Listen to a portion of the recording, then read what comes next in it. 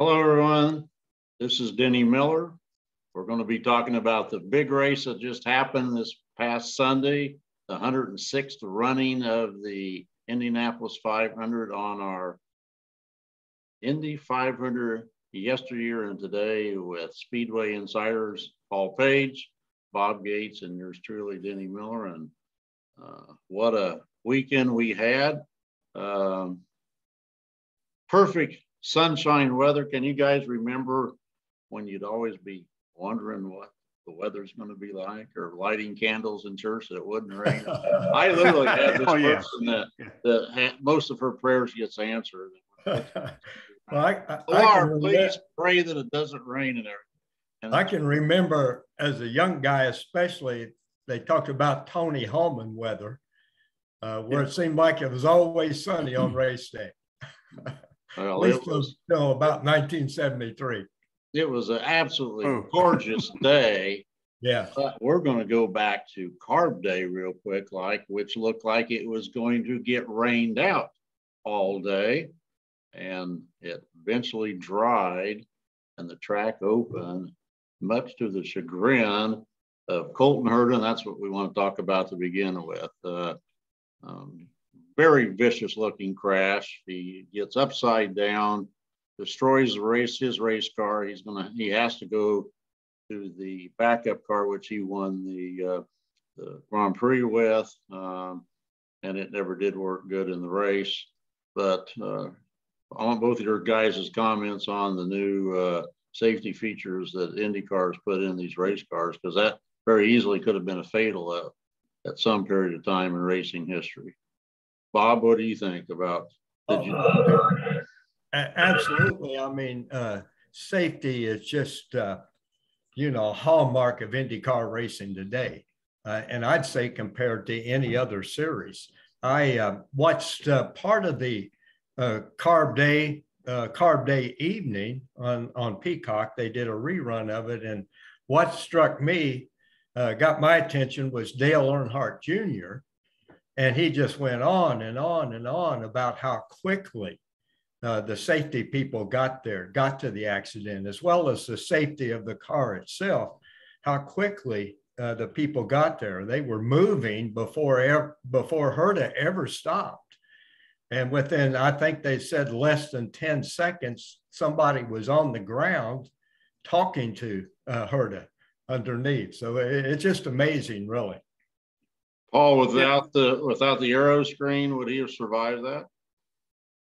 Uh, yeah, I I think he would. Mm-hmm. Um, that's a great question. I hadn't really thought about that one, but the aero screen is, you know, basically designed to keep stuff from getting into the cockpit, and I think that was more the roll bar, the uh, rollover bar that actually uh, helped him there. Plus the fact that the tub is so strong, but when you get a good look at that accident, you realize that uh, there's a lot of upfront damage. And so that's the tub and the nose protecting him. Um, so yeah, and that was just a terrible thing to happen. And it was on his last lap of, uh, of the carburation. He was coming in the next lap. So, and, and, very easily the day could have got rained out. Uh, when we last oh, yeah. left, our last episode, uh, we all were kind of penciling after his impressive win in the Grand Prix and his second place qualifying start last year as Colton Herta as the favorite uh, or pre-race favorite. And it, it, didn't happen at all. Uh, he had a slower than usual qualifying that pushed him clear down uh, toward the back of the field. In fact, all the Andretti cars really did, other than Romain Grosjean. Right. And uh, than to have to drive a car that he never raced or worked with, uh, and it didn't work right the whole race. And he was, he quickly, uh, he was the first car out of the race on a non-accident uh, in this uh, this year's race. Well, he, you know, the the the uh, engine wasn't working for him, and that was almost from the get-go, if not the get-go. Uh, so he, you know, he just stayed down there in 25th forever Right. Um, he had a lot of trouble with the the whole throttle system and everything on that car, and uh, it just it wasn't his day right from the beginning. But he stayed out there, you know, and uh, they, you remember in, in the day how uh, many drivers would have just come into pits and stormed off because it wasn't working? Right, right. Without mentioning any names, maybe a You know, computer laptop might have got tossed. That's, uh, Well, and- and that's the other thing that struck me, uh, and we might get into some of this later, but um, you know, Colton Herta ended up uh, ha- having throttle problems or something, but regardless, he finished in 30th position, but he ran 129 laps. Yeah. I can remember days when if you ran 129 laps, you might finish in the top 10. yeah, that's true. That's true. So Well, he, he still made he still made a chunk of money. I think it was like uh, four hundred and thirty-five thousand, something like that. yeah, That's not Uh-huh. bad. No, not bad payday. Not a bad payday. And But- one of the other things we talked about was, uh, would there be any release by private citizens of balloons during the playing of back home again in Indiana? Did any of you happen to notice any balloons going up? And this sets up something we're going to talk about in just a second. I don't know if it happened, but uh, the the Thunderbirds and Paul, you're a pilot. I'll let you elaborate on this right at the conclusion of back home again in Indiana, which would be the typical release of the balloons.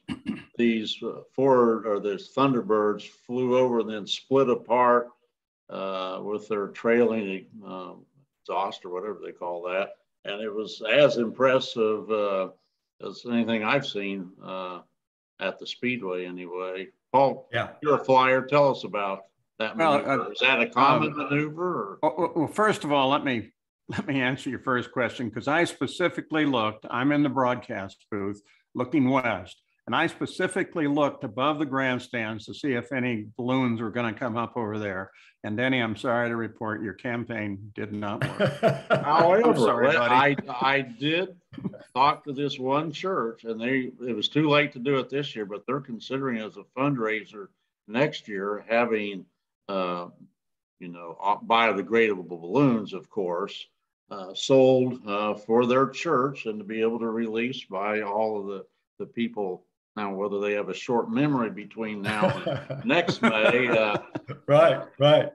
and I, I don't know, I think that was, uh, uh, the Crow in Connecticut egging them on, uh, type of, uh, of a thing. But the Thunderbirds was an impressive replacement for, uh, the balloons going up. Uh, I, I've Yeah. never seen anything quite like. It's one thing That's to do the flyover, but to do what they did. Well, I've I've had the distinct distinct honor and privilege of flying both with the Thunderbirds and with the Blue Angels. I have more time with the Blues, but uh, that the one thing that really surprised me was that came from the east. Normally, you just see the down the straightaway uh, pass of whatever they're they're flying over. Uh, the B B two, by the way, being the most impressive thing I've ever seen Yeah. uh, as so, a solo aircraft. But um, yeah, that uh, that break apart that they did, that was uh, yeah. First of all, it was unexpected, and I I couldn't understand. I was uh, in the grandstand. People were standing up and they were pointing and and I'm what are they looking at? Because yeah, it's that's that was coming from behind me because it was coming from the east, and boom, it went over the top, and then they that's when they did their their break, and it was oh, that was spectacular. It was. And they're they're you know to do that to fly at those speeds and stay that close together for any demonstration team is is just amazing. They did a beautiful beautiful job. Do you see this as the new norm to conclude back home again in Indiana? Well, uh, it would be a, a nice way to do it. Yeah. Um, whether or not you can get a flight demonstration team every year for it, um, that, that's a little different. But they they would put that in the, if they would put that in the schedule uh, for the demonstration teams, the, the Blues or the Thunderbirds. Yeah, I, I it's not you're never going to replace the balloons because once again, as I've said before. I'm a Right. traditionalist, so Right. It'll take me 30 years or so to get over the balloons, but I'll do my best. And are you, as a traditionalist, uh, have you gotten over drivers start your engines? Uh, yeah, years ago, years ago. Years ago. Uh, Yeah. so, it, uh, and in fact, the first, one of the first times that happened, in that form, driver start your engines. For some reason, um, some group came to me that was involved in a, in a race car and asked me if I could say, uh, uh, ladies and and gentlemen, start your engine or something like that. And I said, I have nothing whatsoever to say about that. and I I sent them to the appropriate person. And, and I think they may that may have been the year they actually started it that way. But yeah, I it, that's that's a fine. I, I I don't have any problem with that at all. Right. Yep. So Bob, you have behind you what is the winning car. Uh, right. Yeah. Those uh, I guess, was that a surprise? It wasn't surprising me because uh, Marcus Ericsson uh, from Sweden became the second Swedish driver. Kenny Brack had won the 1999 Indy 500. Uh, Ericsson was a member of the very strong all month uh, Ganassi team and basically it was always in the top 10 every practice session and qualifying session. And he did a good race. And yeah, uh, very good beat uh, Pato O'Ward uh, for second place, quite close. And then uh, TK Tony Kanaan finished third. Uh, and there was one thing toward the end that I really applaud the Speedway staff for. Late in the race, lap 195, uh, NASCAR ace Jimmie Johnson crashes, and the red and the yellow flag comes out, and then they stop the race. Thus, had that not happened, uh, Ericsson would have won under the yellow because it would not have been cleaned up in time. Um, and, but. Well, but actually, Ericsson did win under the yellow. Yeah. oh, technically he did too. So very yeah, good, Paul. That's right. You're, but, getting, well, you're getting ahead of the story here. But, oh, I'm sorry. Well, no, no, no, no. Uh, uh, the one thing I, I wanted to say is the one thing that surprised me, and of course, Speedway done that before, and I fully approve of that, yep. except the accident happened and you knew that that wasn't going to change. And I thought they'd throw the red flag immediately, knowing that it, you know, that, that that's not going to clean up. Instead, they waited and ran the, the last three laps, which mm-hmm. is a hint of the NASCAR uh, technique. And yeah. I would have rather, if you have an accident in the last 10 laps, that you flag it red right away. And but but then once again, there is nobody in officialdom or race control that listens to me ever, and, that, and that's and that's probably really smart on their part. oh, we got a segment of this uh, uh, this YouTube podcast that we're doing that that may change, and Bob's going to be talking about a certain thing that happened uh, that, and they may very well listen to you now with some oh, no. behind your name. Not PhD, but it's something like HOF or something, I think. uh, no, but they did stop the race. Uh, uh potentially, uh, Jimmie Johnson, the teammate of Ericsson's, could have been the GOAT had uh, Pato O'Ward because there's no way O'Ward would have caught uh, Ericsson without a without it going yellow or red. Right. This, for those who were not there, they bring all the cars to the south end of the pits and they're lined up one after the other. And it was down, what, 10 minutes time before it was cleaned up or thereabouts. It did have a, uh, a crippling effect on Ed Carpenter. His car wouldn't start. And that is always a concern that um, once they shut those down, they may not restart again. That and Carpenter proved that.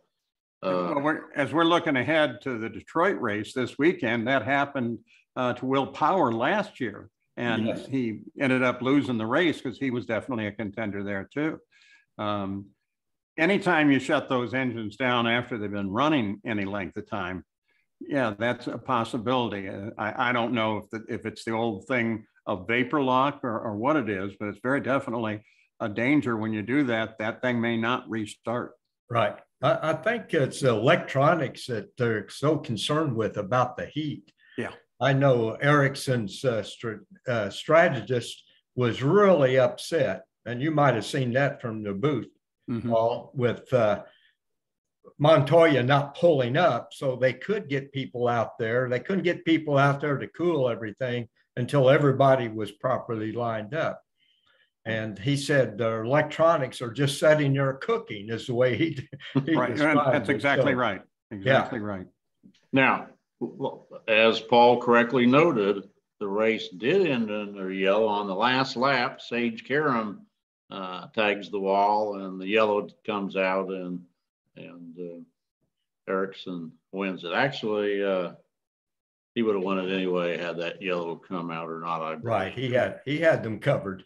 Yeah, uh, actually, though, uh, O'Ward on the what would have been the white flag lap very briefly took the lead going into one. Brilliantly pr- played by Ericsson to have him up on the high side, that he, and he would have gotten in the marbles and probably crashed had he he gone. I was a little surprised with uh, Tony Kanaan and his his just tremendous skill on restarts that he uh, didn't have a better restart to get at least an award for second. Uh, he got kind of hung up almost side by side with Felix Rosenqvist, who did finish fourth. But uh, I think that kind of uh, neutered uh, his his efforts to get him. Well, we've, we've seen the outside pass attempted uh, and succeeded with, uh, well, Michael Andretti and Rick Mears one year where Michael passed on the outside and Rick came right back and did the same thing to him. Right. So uh, at least it's theoretically possible, with- especially today, I would think, with the ground effects uh, and just the whole aero package on the cars. Um, but Pato O'Ward could have done what uh, Takuma Sato did and crashed Right. attempting that turn on the final, no, that, that pass on the final lap.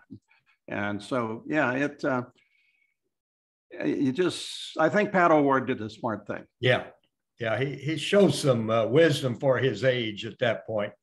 but we uh, we led with uh, Ericsson being the, the lead story, but the real lead story of the race was the Iceman Scott Dixon clearly having the race in control.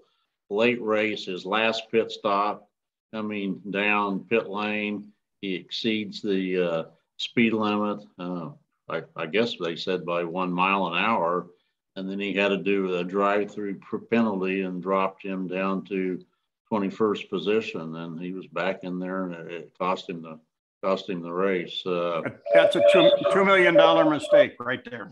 Two million dollars. Right. Yep.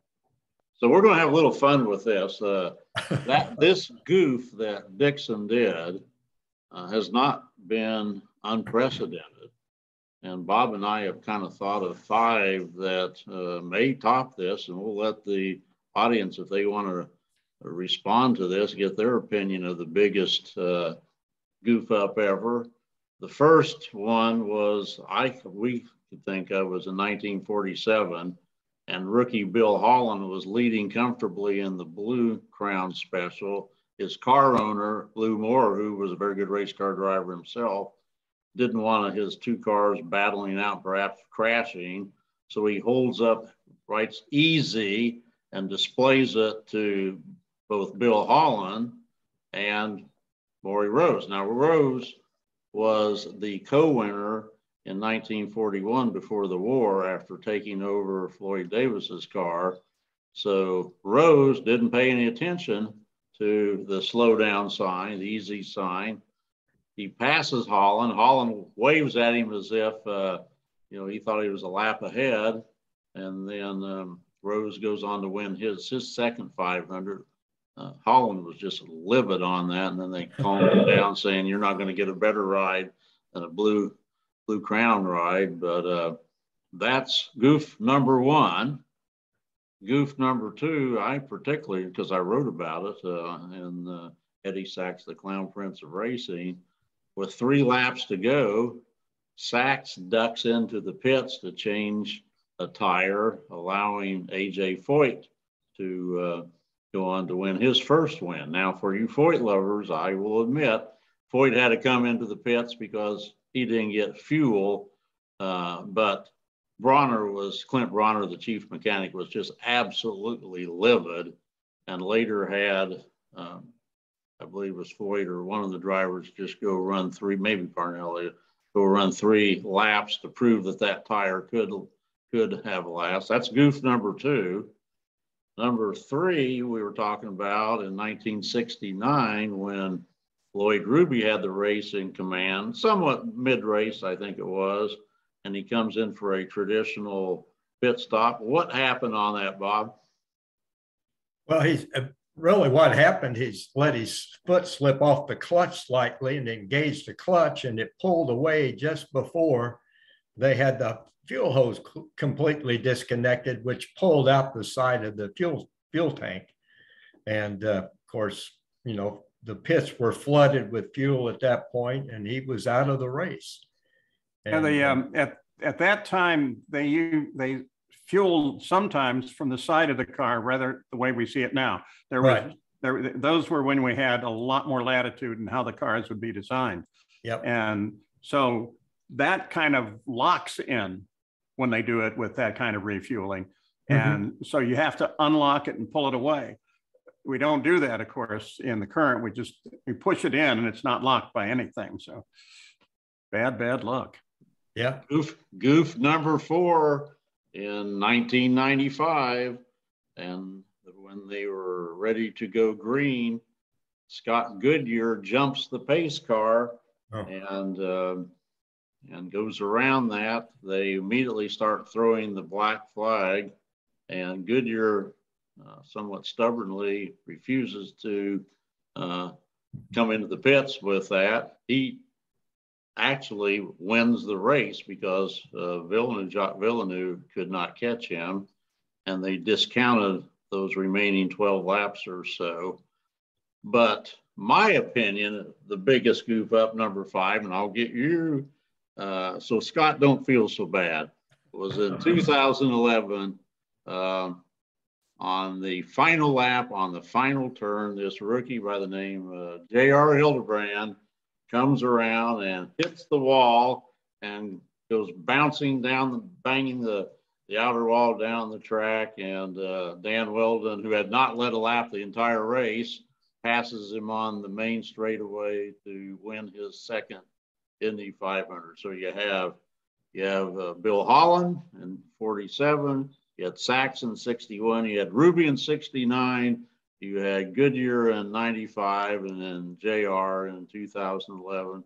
Scott, uh, all of those, in my opinion, were bigger goofs than what just a, a mile an hour down the down the the pit lane. But well, let's let's let's let's let's analyze. What do you think? Let, us chat one? about at least the last two. Yeah. Um, were you were you recovering those, Paul? I, am sorry. Were you covering either one of those? Uh, either television? Oh yeah, definitely. Uh, Holland, no. Let me think. No, I only, only the last two. Um, uh, with regard to Scott Goodyear, he actually lost two Indy 500s by less than two seconds. I mean, you talk about terrible, terrible luck. And I'm with him all the time. Uh, in fact, we're going to lunch uh, next week. Um, he tells me that uh, after they they wanted that black flag out, and uh, he and Steve Horne, the car owner, decided that they were not going to come in. They were going to prove that that engine in that day with that driver could drive 500 miles faster than anybody else. So it was a conscious decision made almost immediately. If they throw that flag, then uh, we're just going to keep going. And I, and I guess now uh, there is, in fact, a flag that tells you that you're going to be scored no longer. So, but uh, that was a conversation that was that was held there. Um, and in the um, the J.R. Hildebrand, I was in the broadcast booth st- standing next to Mike King, who was then the anchor of the race. And I'm watching this, and it, it's funny because I'd had a conversation with Mike before the start of the race. Um, it was just casual conversation. And part of what I was telling him was remember that in the 500, especially in the last laps, you've got to know the order like one through six because you never know what's going to happen. And uh, on that day, that did happen. Cars fell out, and here comes J.R. Hildebrand around to win the Indianapolis 500. He's less than a thousand feet away, and he brushes the wall. And for a second, my brain is thinking, will he be able to slide across and take the win? And if he does slide across, will they count it as a win? Right. Which I'm sure they would have. But uh, the uh, his, to his misfortune or his his bad luck, um, here came uh, Dan Wheldon just flying, and he crossed and won. Um, but what Mike had done was he got caught up in the crash itself, which is exactly what we had discussed. And finally, he turns and looks at me because I'm kind of waiting for him, you know, to say something about the win. And he says, Paul, who won? so I felt so bad for Hildebrand and for Mike King. I, that, uh, that was a terrible thing to have happen to a, Right, what, right. a really fine sports announcer. uh, I write screenplays amongst other things. And if one were to write an ending where the a rookie was leading on the last lap in the last turn and hits the wall and doesn't win, they would immediately not even consider that as just too unrealistic to uh, uh, to even put on the screen and everything. Well, now, wait a minute. There is a movie called Turbo. Oh, yeah, That's right. So, uh, Oh, no. Not turbo. You got a plug in for your Eddie Sachs book. I'm getting a plug in for my movie. oh, okay. There you all go. right. Of course, you know, uh, we're, we're going to segue out of this real quick, like, because uh, two fun things happened this May. Uh, one was the honoring of Rick Mears, and where you hosted that, Paul. Mhm. And then also there was the uh, Hall of Fame banquet that the old timers put, uh, tremendously done. Uh, you're one of the head people of that. Um, Bob, why don't you tell the highlights of the uh, of the uh, Hall of Fame banquet and its inductees, if you would? Right, right. Well, at the Auto Racing Hall of Fame uh, and uh, Indianapolis 500 Old Timers banquet on the Thursday be- before the race, uh, one Paul Page was inducted into that Hall of Fame. I think a very, very well deserved honor. Uh, spoke very eloquently, as we would expect that evening, and uh, to the point of being being emotional in, in parts of it, which was touching touching to see. And uh, you know, along with uh, with Paul, uh, just to give you an idea of the people, the stature of the individuals that were inducted, you know, it was Wally Dallenbach and Danny Sullivan were inducted. And because of COVID, we had to go back a couple of years. So Paul was in this whole group with uh, Michael Schumacher, uh, Janet Guthrie, and uh, Dale Earnhardt Sr. So quite quite a class there that Paul was a, a part of, and I think a very, as I said, a very well deserved honor. Appreciate that. You know, there's one quick little story. I tried to make, well, I didn't try, I made sure I was going to mention every one of my family members. Right. And um, my my two grandchildren who live in, in Brooklyn, uh, one, the boy Finn, couldn't attend because of a COVID issue, but little Coco, who is six, could. And so I was talking about them and saying both of them want to be race drivers. And my only question is who will be the first to win the Indy 500? And this little voice from my table, which is just down there, is Coco saying, I will. right, right, right. that was fun. She is That was so uh, such an adorable little child. You have to be popping your buttons with pride. Oh, for yeah. her. Yeah. And that was funny when she said it and everything. Right. So uh, And then they, the Rick Mears, an evening with Rick Mears, since you, you did mention it. Um, that was so much fun too, because it's just Rick and I, and, and, and Rick and I have known each other for a long time. Uh, we even uh, touched on what stories we couldn't talk about, but.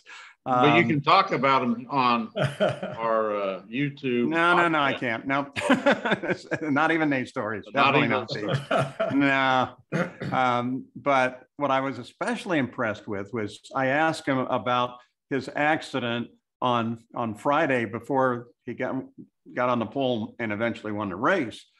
Um, what that accident was like for him. Uh, he described it probably took him five or six minutes to discharge that one answer. He analyzed that thing all the way through. You know, that he sensed something was was happening in the back of the car uh, because that was what the the the um, water hose had come loose, and so that was spraying onto the right rear. And then he slams the wall hard and uh, gets upside down and and slides and slides. And one of one of his lines was, you know, a race car does not slow down when it's upside down. Excuse me. Good line. that was fun. That was fun. I I was told that I didn't get. I had another event to go to that night. That uh, he had re broken his foot, and you want to tell that story since you were, you were the host of it. Uh, I I did not know that. That no, I, I, I most at that people time, didn't know that. At that time, I didn't at that time either. And uh, all I've heard is what you heard uh, that he broke his foot in some way, but I haven't talked to him since that evening, so I don't know. But apparently, he was using his other foot to to, to drive. Oh, I'm sorry. You're talking about during the crash. yes. Uh huh. Oh, Okay. I'm thinking about that evening. Okay. All right. Okay. Uh, yeah. Um, he put one Because that wasn't public knowledge, or at least I never knew Yeah. that story. During that qualifying run. He uh, he put his left foot over on top of his throttle foot, so that he would not lift, not even a, a slight pause in lifting. And he had, when discussing qualifying runs before, uh, talked and he talked that evening about the fact that you you even a tiniest lift kills your momentum. It may not kill it, kill it, but it you know it could be the hundredth of a second that matters, uh, as well as not not turning the front wheels much at all if you can get away with it, because the minute you turn them, you know they become a bit of a brake. So to make sure he didn't have a problem with just an accidental lift, uh, he put his one foot over the other for the run and got the pole. Now that, that event was quickly sold out. So uh, I would have liked to gone to and couldn't. Uh, Yeah, it was fun. They're going to do a lot more of those uh, later this year, so that'll Good. be good too. Yeah, Yeah. they're very nice. well, there were two other crashes of note in the race. Uh, the first being the person who very well could have won it, uh, Ed Carpenter's driver, Francis VeeKay, uh, Yeah. was running in probably, I think, second position. He had led Mhm.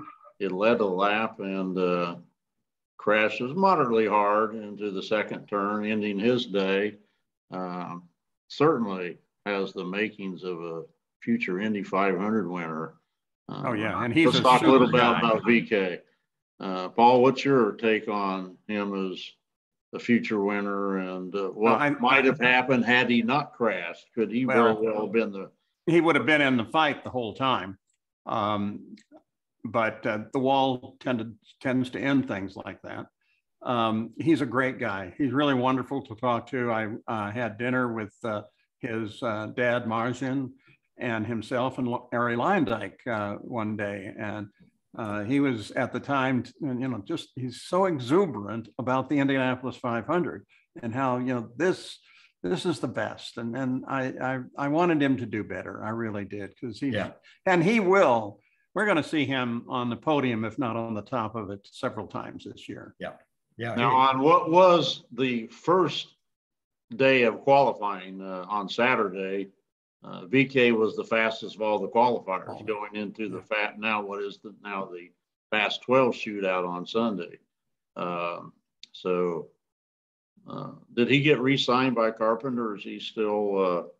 Uh, uh, I, I don't know. Yeah. but he, he's good. I hope they don't lose him to F1.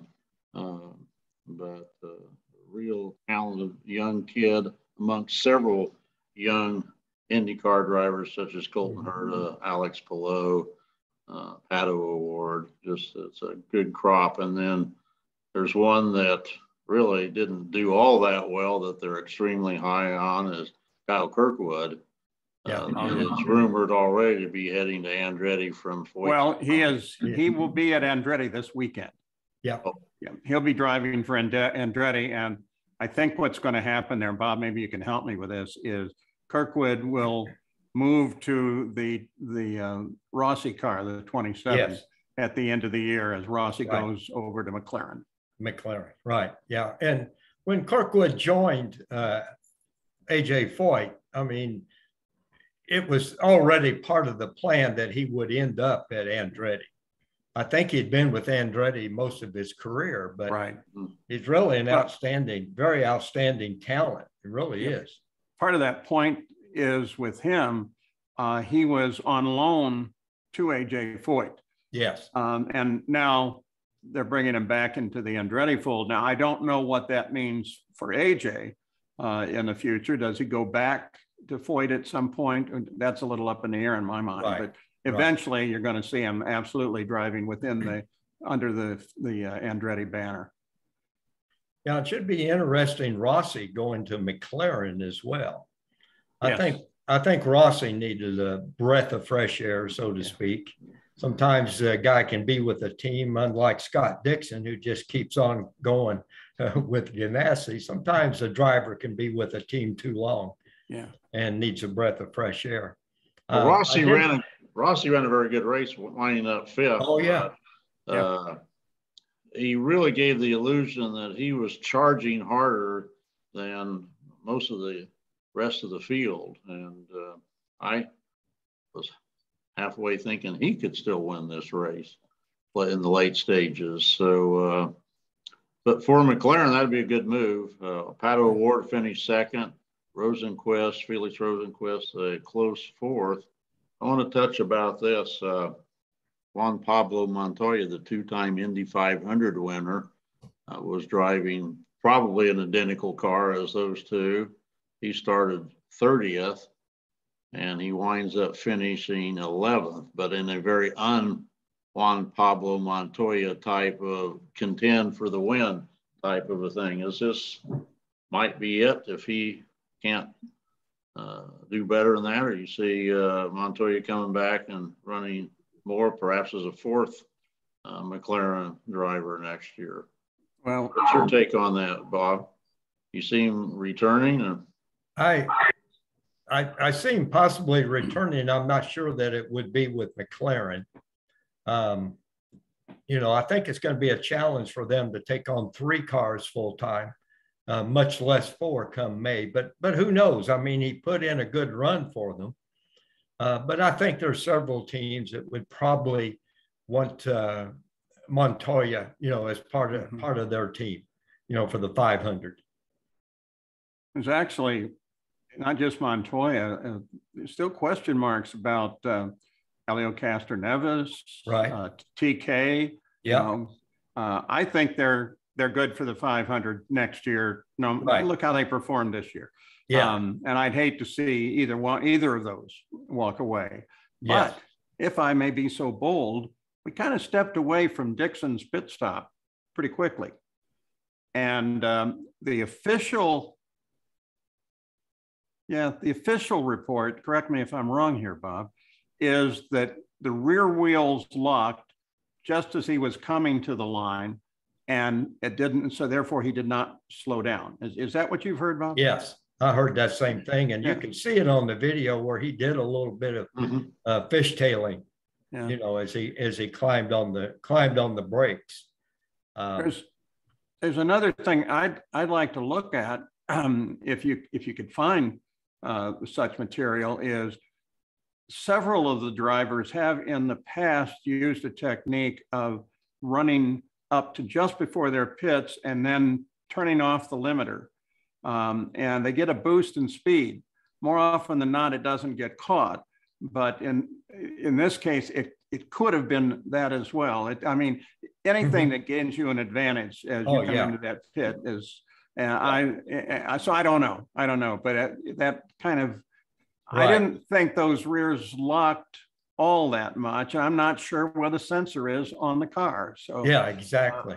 I got a few trips to make. to find out what's going on. Well, and I think Rod, or uh, Dixon was really, you know, had, the pressure was on him at that point because in the previous two pit stops with uh, Rosenqvist and uh, uh, O'Ward, uh, O'Ward, I think, gained uh, maybe a second, second and a half, Mhm. and uh, Rosenqvist gained almost two and a half seconds. And that wasn't because of pit's actual pit stop time.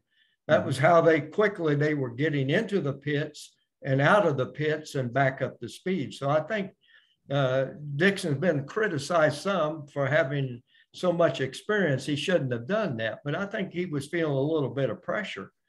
Two yeah. seconds is a lot of time to make up on the track. Could well be. Could very yeah. well be. So, uh, what I'd like to do is start toward the back of the field and we'll look at the bottom 33 drivers and we'll comment on any of the ones you uh, think worth commenting on. Uh, Marco Andretti finished 22nd, uh, Sage Karam 23rd, Jack Harvey 24th in the Rahal car. This one surprised me. Takuma Sato, the two-time winner, yeah. in 25th position. Uh, Kellett in 26, Wilson in 27, Jimmie Johnson 28, McLaughlin 29th, and Herta 30th. Uh, guys, we can kind of pick one to comment that any surprise of those stand out toward the back of the pack. I I uh, was surprised that Jimmie Johnson didn't do somewhat better than what he did Sunday. Um, as we know, the Ganassi cars were all strong. And I really believed and said it to many people that if he finished the race, which he didn't quite, but if he ran most of the day, he would have a strong finish. So I was a little bit surprised that he didn't uh, perform somewhat better. Um, again, the cars were very, very tough to handle. And with wind and heat, there are some tough weather conditions, but uh, that surprised me a little bit, not necessarily criticizing him, but it just surprised me. Yeah, I, I thought he he was he, he was to a degree in the fight early on. He, he yes. certainly he certainly was pushing the car very well. Right. And I thought, you know, this could this could be a top three, if not a win. And oh my goodness, if it would have been a win, you know, what would we be talking about right now? But uh, he he showed showed for himself very well, I thought, until the accident. Right. Do you see, based on his results there, him coming back and running next year? Did he like it enough that he'll want to oh. come back and try to get his face on the Borg Warner Queen, or is just I've done it now, and uh, at my age, I'm not going to do it again? He, he he said he would be back. He said he couldn't wait to be back. So, um, unless uh, Ganassi would drop him, which I doubt, Mm-hmm. or his wife absolutely insisted he's not going to do it again, which uh, I don't think that'll happen either. That seemed to seemed like the entire family was just really caught up in the pageantry and the tradition and you know everything about the 500. And then uh, he was named Rookie of the Year for uh, this year's race, uh, causing some controversy on that end that he should not have been given that award. I was fine with him getting Rookie yeah. of the Year, um, and uh, and hope he does come back. Paul, any of the other drivers of that group that uh, surprised you, disappointed you, oh, exceeded um, your expectations? I'm I'm I'm not sure any of those words specifically apply. Just kind of some some disappointment with with Marco because um, yeah, I thought throughout the month that he's there and he's going to be good. And it, it didn't work out, but I thought how neat it would be if we finally get an Andretti win at the track. Mm-hmm. So, but we didn't. And, and I, I kind of, I feel pretty badly for him because I thought he was very much available to the game, but uh, it just didn't work out. Right. A little fool's gold in that he was leading the race uh, in the late stages more because of the recycling of the pit stops, but I guess had there been an extended, extended yellow that they didn't stop the race, he might have been able to pull a Rossi and and and win it himself. Uh, uh, I thought um, as quick as Takuma Sato was all week, uh, one that he uh, kind of disappointed on his qualifying efforts, but in the race uh, he uh, didn't advance as fast as Takuma Sato can oftentimes do. That was my of that group. Uh, of course, obviously Herta was a lot of people's pre-race picks before the accident and everything. But um, also, McLaughlin uh, ran fairly well and then got caught up yeah. in a minor crash. Uh, none of the Penske cars uh, had a particularly strong day. No, which so that, that, was surprising, if, if not shocking. I, I expected the Penske cars because I thought the Chevrolet was the strongest strongest engine yeah. out there, um, and it didn't turn out that way, did it? And that, uh, you know, you, to have Penske that far down, uh, I, I can probably guarantee you that there's a lot of very heavy work being done in that shop right now. Well, Will Power was very strong at the beginning. Then he, you mentioned yes, was. Johnson, very strong. Um, he moved up fairly quickly, and then all of a sudden he started going backwards, and I guess the car was loose, and they just really couldn't do anything with it. Although uh, I did hear him say that he was uh, considering all, he was happy with 15th. so mm-hmm. that's something to hear a Penske driver say as well, isn't it? Yeah. I'm happy with 15th. the, yeah, that, the that may also get a conversation from the used to be yeah. team owner RP. right, exactly. But for a typical Penske paint job, that was a total uh, opposite direction. What you normally see almost looks like the days of Benetton in Formula One with the purple on it and and goldenrod yellow on it and black and red and everything. Uh, well, there was there were some beautiful cars, and and we've seen some of them since the start of the season. But there were some magnificently uh, designed on on the uh, the mylar wrap that they use. I just mm-hmm. there was some magnificent looking cars. Right, right. As far as a patriotic look, I don't think anyone can top J.R. Hildebrand's uh, stars and stripes, red, yeah. white, and blue, in the way they painted it. Well, then the next group, uh, 20 through 29, we or, or 11 through 20, I guess would be uh, Montoya was 11th, uh, Hildebrand 12th, uh, Newgarden 13th, Rahal 14th, Power 15th, Maluka 16th, Kirkwood 17th, Carpenter 18th, uh, DeFrancesco 19th, and the young Danish driver Lundgaard 20th. Uh, comments on any of those, whether they exceeded, did what you kind of thought or disappointed of, of any of those, that groupings? I, I think, uh, I think Hildebrand, you know, really did an excellent job. Um, where did he start? 17th, I think, something like mm-hmm. that. Uh, but to finish 12th and, and won a Foyt's car, and they just in the last years, they have not have uh, very competitive cars, but between his driving evidently and, and uh, pit stops and uh, getting the yellows right, he ended up in 12th place. So I thought that surprised me, to be quite honest, that he, any Foyt car finished that high. I'll probably get beat up about saying that, but I was surprised. Or at least your neck grabbed or something. yes. Um, I don't know. I uh, with his two wins this year, I thought Newgarden came in as a, a strong likelihood of winning this year's race, and uh, not a not a good day at all for him. Uh, uh, I don't think he really even ran in the top ten, other than through uh, uh, pit pit changes and everything. So that was my take on disappointing. Also, I guess how uh, weak all three Rahal's uh, cars ran.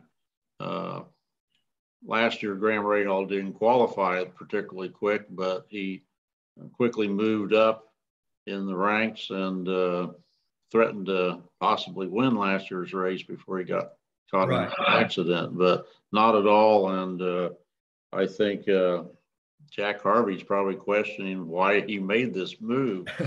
uh, uh, but well, um, I and I can't point to a single moment that I thought he was good, but I just have a feeling that Malukas is going to be somebody we need to keep an eye on too. Yeah. I, he's got a lot of racing moxie there, and, and he's fast. He's really fast. In a, in a Coyne car also. In a couple of the test sessions, he he out sped the all the other rookies and everything. Right. So that yeah. I guess that really didn't surprise. And he also was involved in a carb day test as Right. well, uh, crash as well. Was that his backup he was running also? I think it might have been. I Uh, don't know. He was running. I'm, I'm not sure if that was a backup or they got his car repaired. He did not have as much damage as uh, Oh, Colton no. Herta did, but um, Excuse me. he, he did a he did a very good job. Uh, yeah, uh, and the highest finishing rookie of the entire class. Right. Which in, in, a, in normal years, um, he would have been the rookie of the year. Yes. Mhm. Yes. And then the final thought was the disappointment Ed Carpenter must have had to have his car not restart. I was going to ask this question as it unfolded. Since it was yellow, and when he did get his car restarted, could he have motored around to what was his spot in line? He didn't, so I guess probably he couldn't. But at that time, I was thinking, could he do that under the yellow to get back to his assigned position when they red flag the race?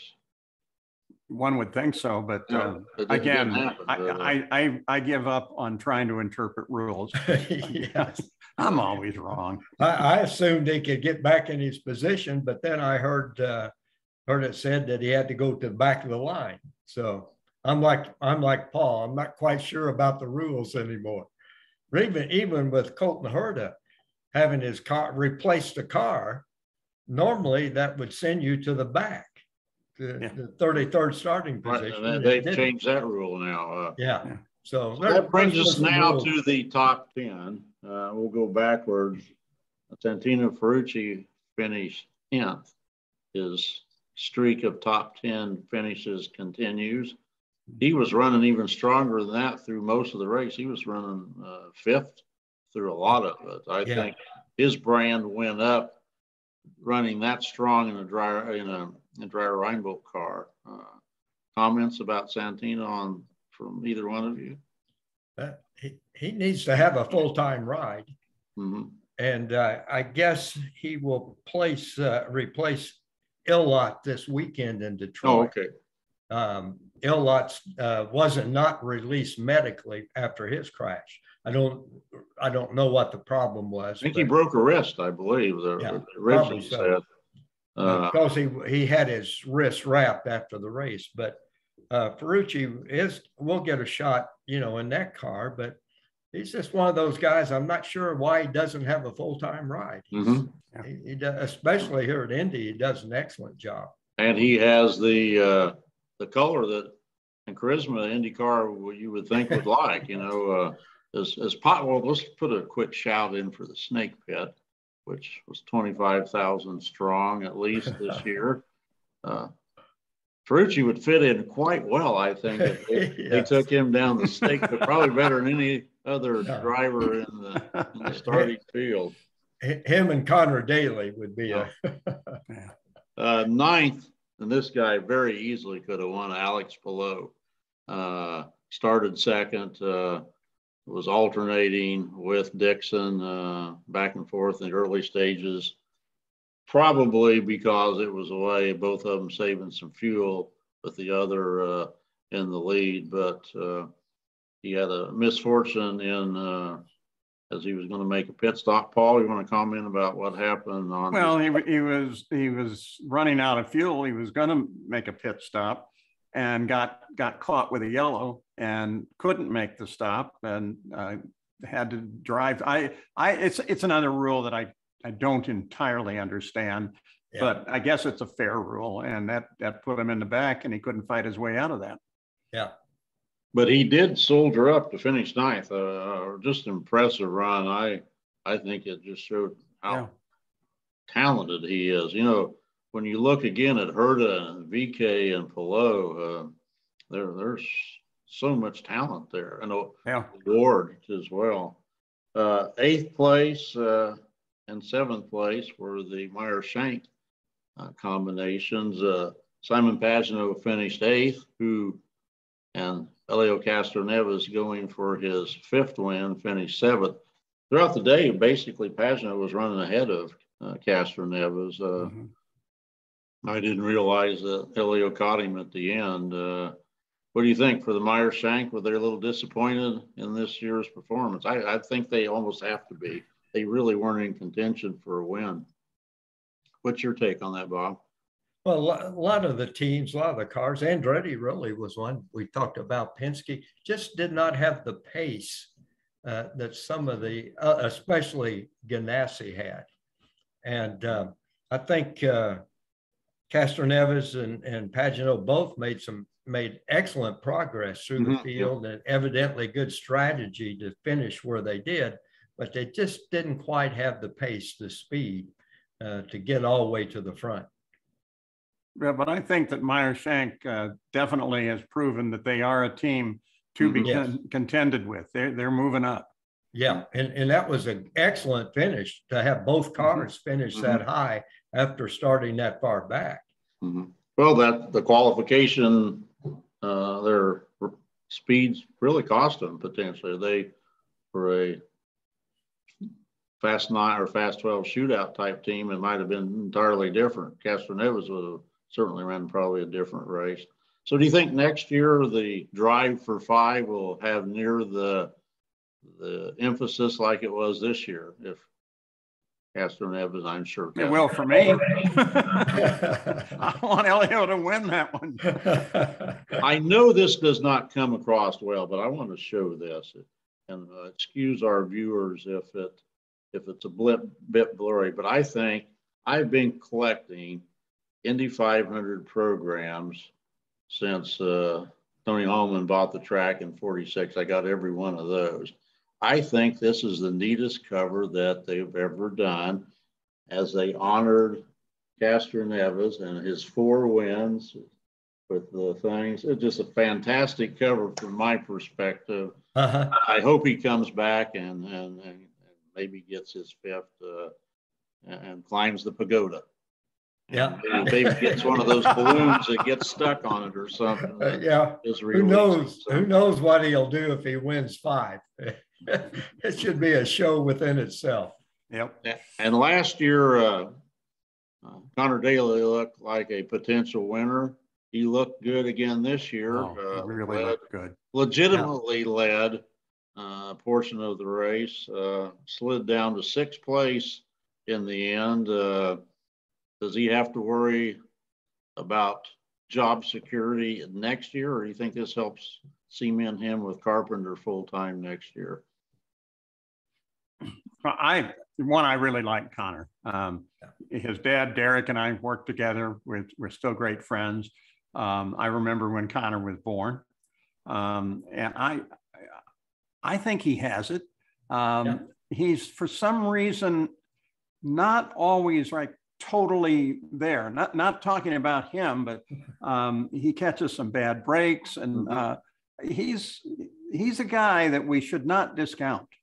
Oh, I definitely see him yeah. as an Indy 500 winner, yeah. uh, in the Gil de Ferran type of mode. Uh, mm-hmm.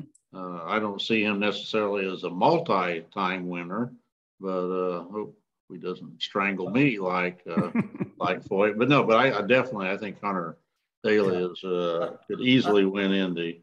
I think uh, he needs uh, to be with one team for a while. You know, he's mm-hmm. jumped around from team to team, and maybe he'll be able to stay with Ed Carpenter. Mm-hmm. And Carpenter always has strong teams, strong cars for Indy. Yeah, particularly at Indy, yeah. With, yeah. with uh, I still probably VeeKay will be the quicker of the two, uh, just because he's that talented. But fifth place we alluded to uh, Rossi, mm-hmm. Uh, the highest finish in Andretti car.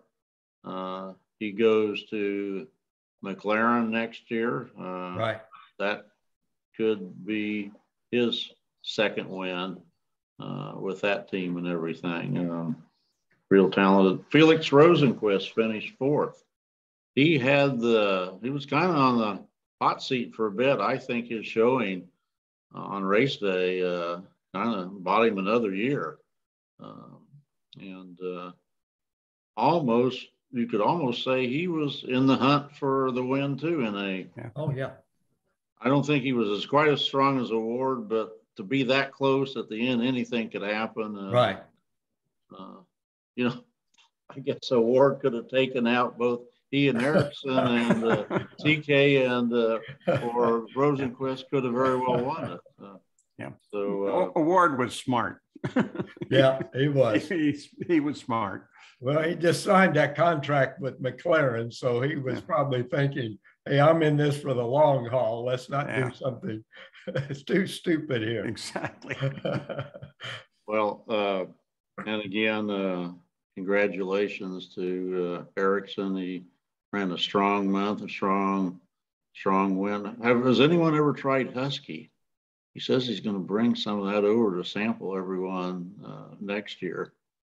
So uh, From what I understand, I've never tried it. What, what I understand is excellent, but the supply chain issues we're dealing with in COVID has prevented it getting here. So Mm. hopefully, hopefully they'll get some here.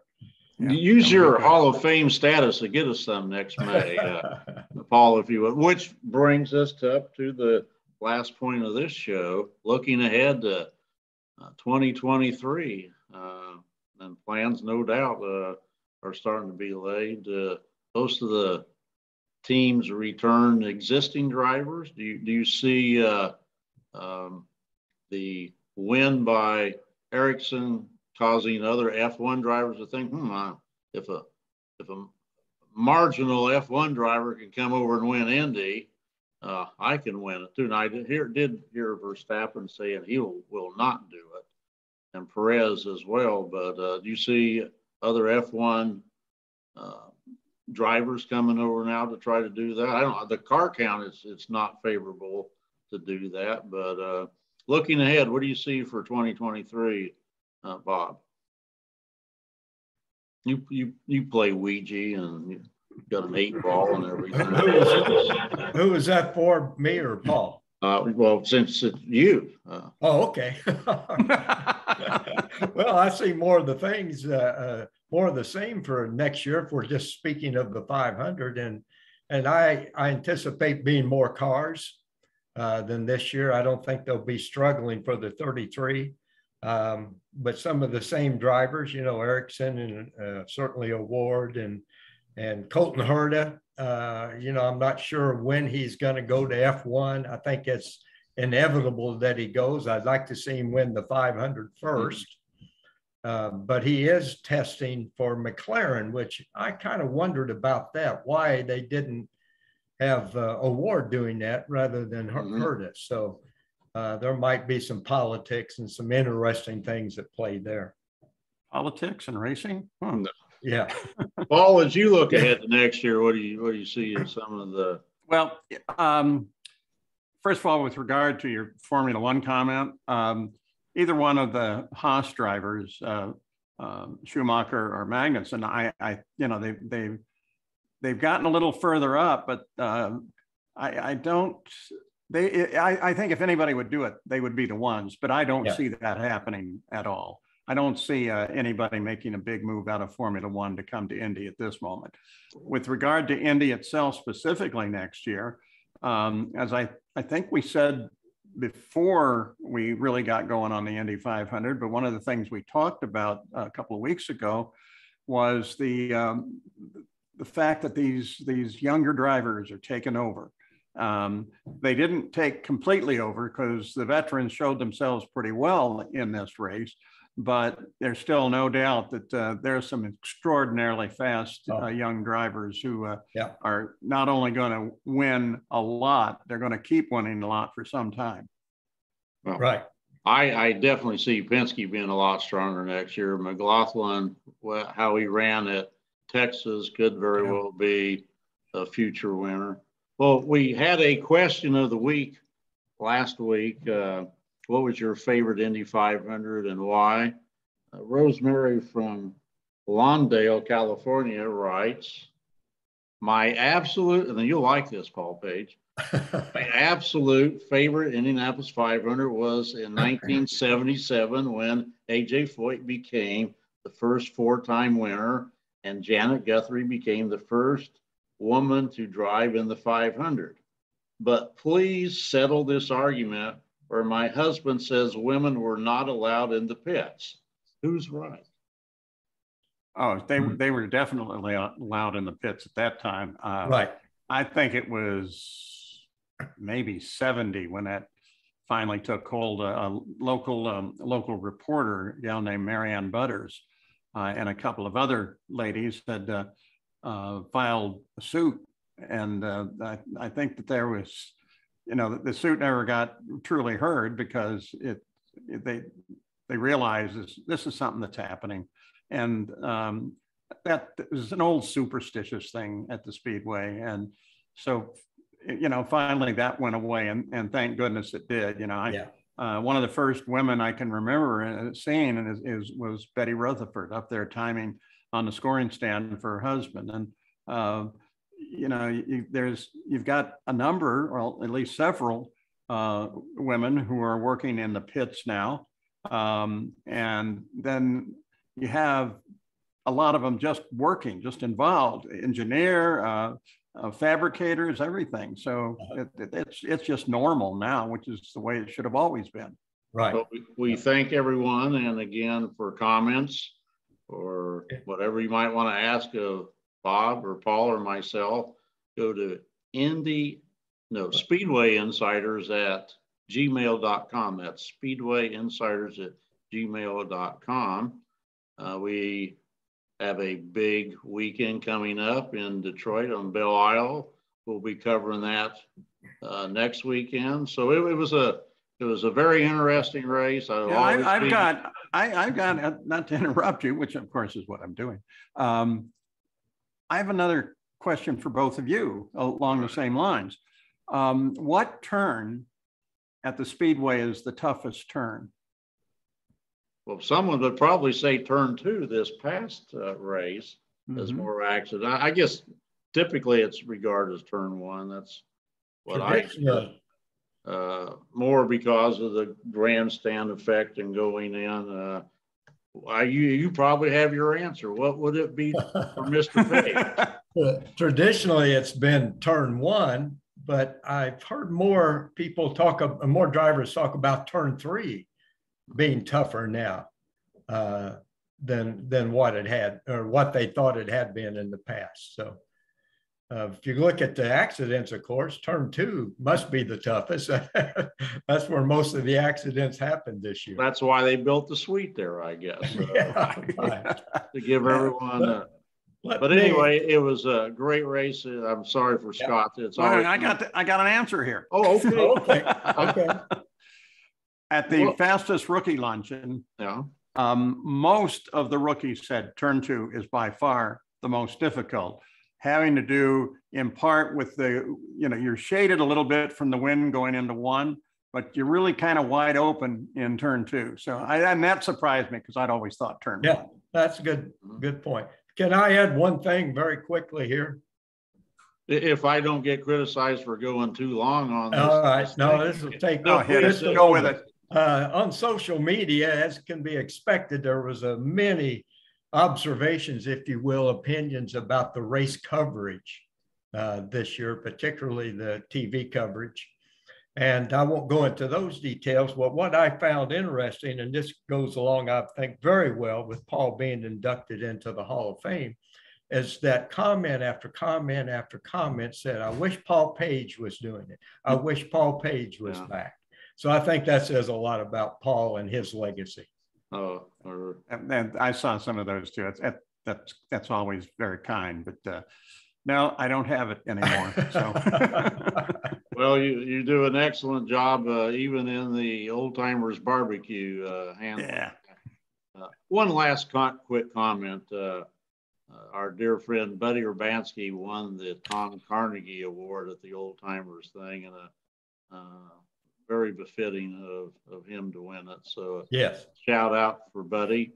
Uh, and he, with a wink and a nod and a twenty dollar bill, you can almost get any one of your friends into the old timers. He's that nice a guy and cordial to everyone that that comes in. So, uh, so keep your comments coming. We love you. Thank you also for everyone who has such favorable opinions. I got a lot of that. I, I think, Bob, you said you had people coming up, and Paul, you had people coming up and liking uh, how these are going.